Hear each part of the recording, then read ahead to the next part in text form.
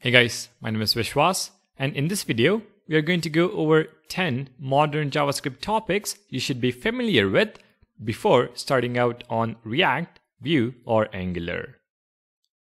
Let me tell right away that you can always dive straight into the framework or libraries.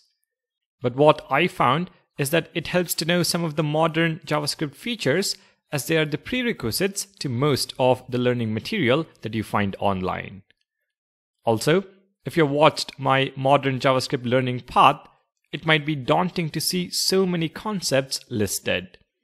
So this video is for you if you want to spend a few minutes and get familiar with JavaScript so that your journey of learning either React or Vue or Angular will be that much more simpler.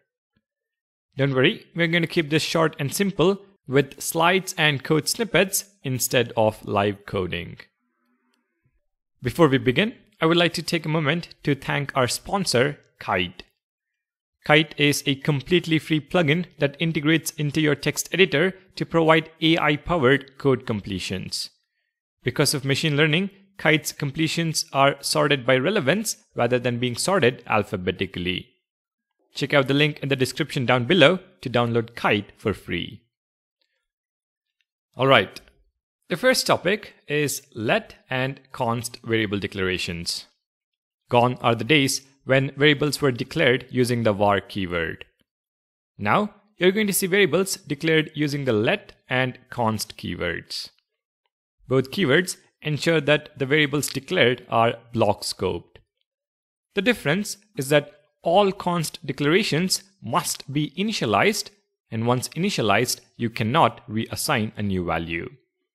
So you could declare let name and name is equal to Vishwas on the next line, but with const, it has to be const name is equal to Vishwas on the same line. Also, we can reassign a new value to let declared variable, but not const. It is going to throw an error. A good rule of thumb is to always use const declarations unless the variable value is going to change, in which case you can make use of let. The second topic to learn is the shorthand object assignment. As a beginner, when you see this feature in use, it's going to confuse you. But it is so common now that you just have to know this. Let's say we had a constant name equal to Vishwas and channel equal to the string Codevolution. If you had to create an object called YouTube with similar properties, you would specify the key as name, value as name, key as channel, and value as channel. With the shorthand object assignment, we can now initialize objects in a more concise way. When the property name in your object is the same as your variable name, you can simply specify the key and the value is inferred to be the same as the key. Trust me, this is a feature you're going to see a lot in every code base. Alright, let's move on to the third feature, which is destructuring assignment. It is a feature that makes it possible to extract values from objects or arrays with ease. Let's take a look at an example. In case of an object, Consider an object called name with two properties, first and last.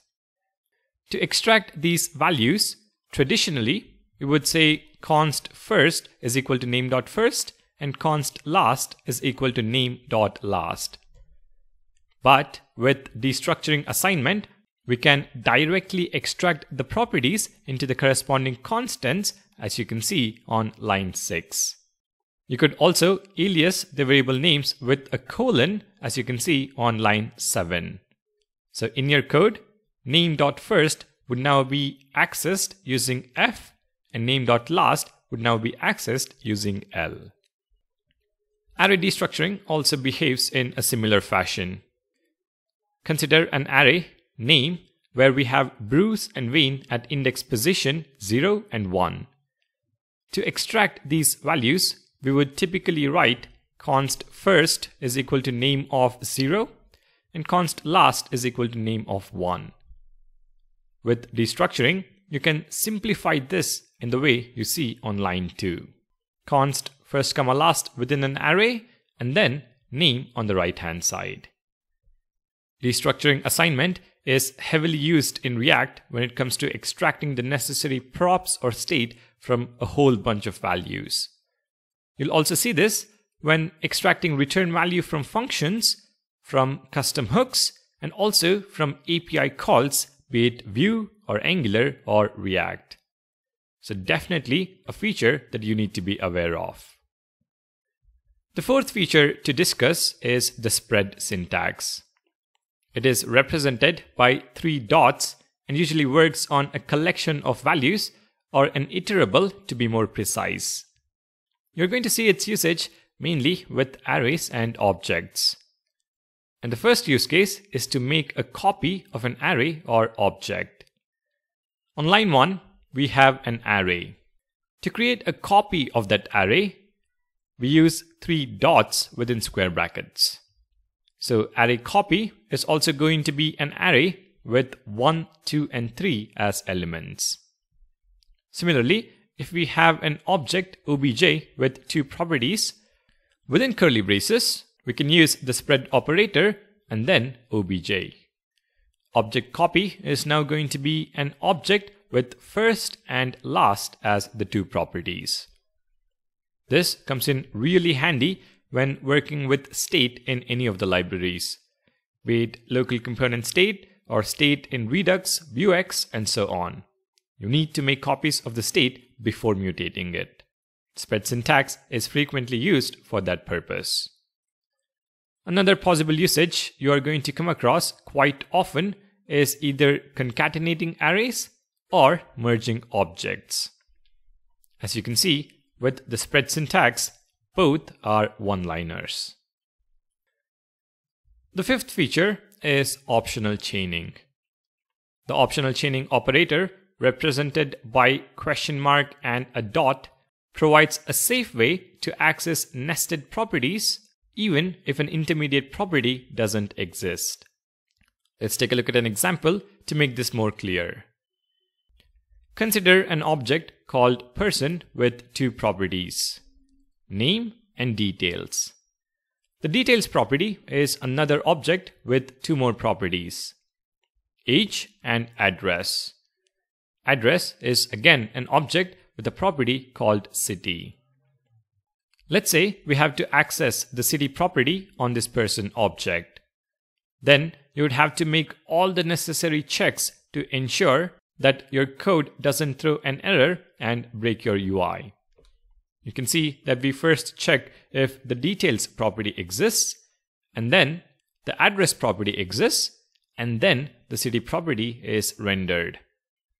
If you were to directly specify what you see here on line 14, but your object doesn't contain the property called address for some reason, JavaScript will throw an error cannot read property city of undefined.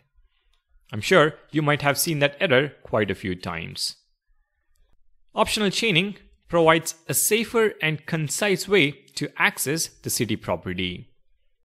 You can see that before we access the property, we add the optional chaining operator, and that ensures our code doesn't throw an error if the value is null or undefined.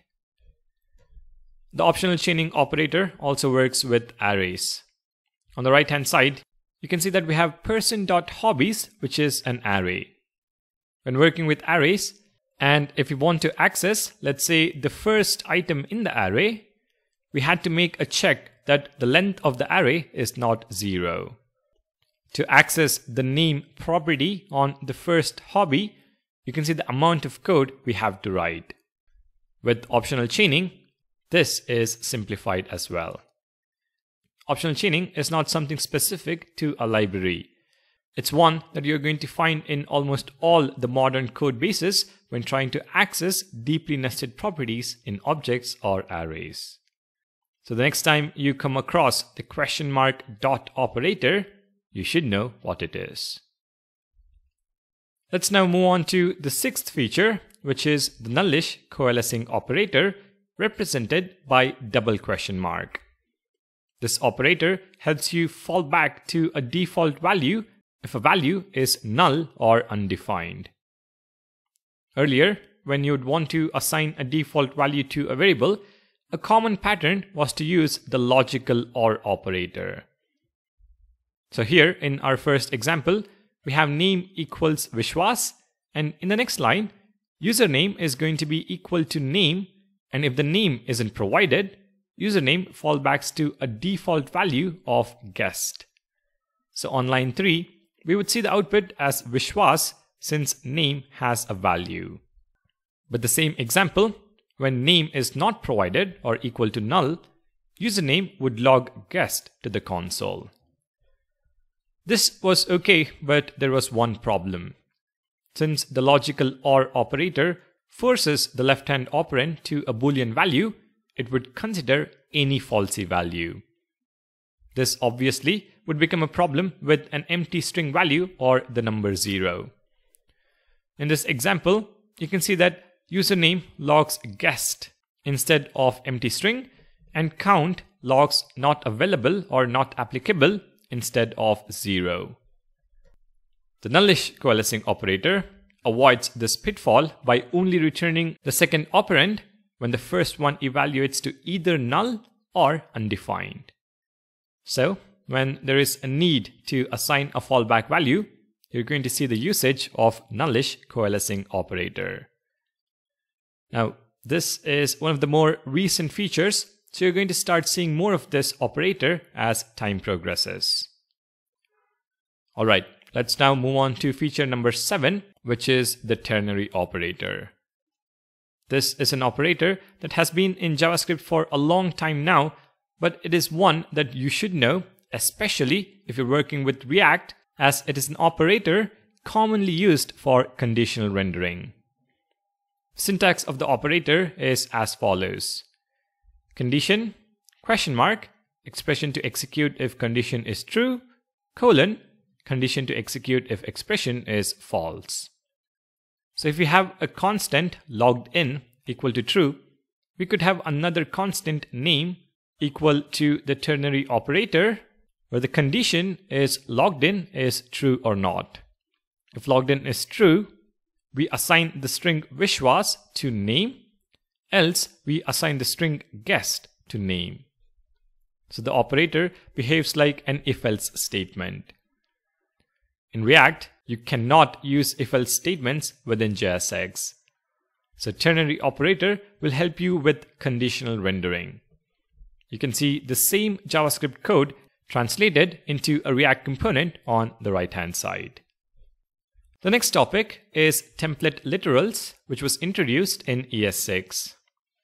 Prior to ES6, when we had to concatenate values into a string, we would use the plus operator. Personally, I wasn't a fan of that. You can see in the example here that we have three constants, greeting, name, and sport. To ask the question, hello Vishwas, do you like football? We had to go into so much trouble to concatenate strings and also remember to add a space where required. With template literals, we can now use what is known as string interpolation.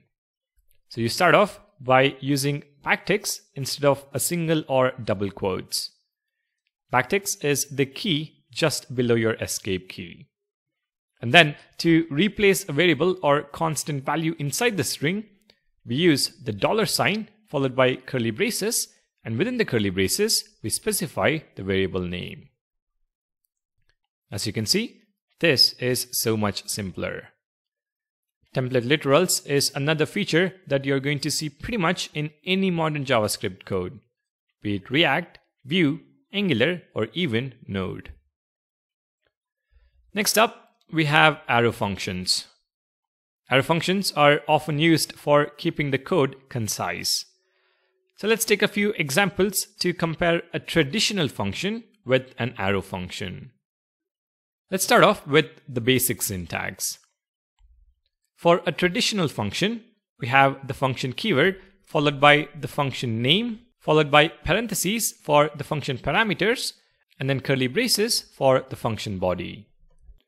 With arrow functions, you start with the const keyword followed by the function name. We then have the actual arrow function assigned to the constant.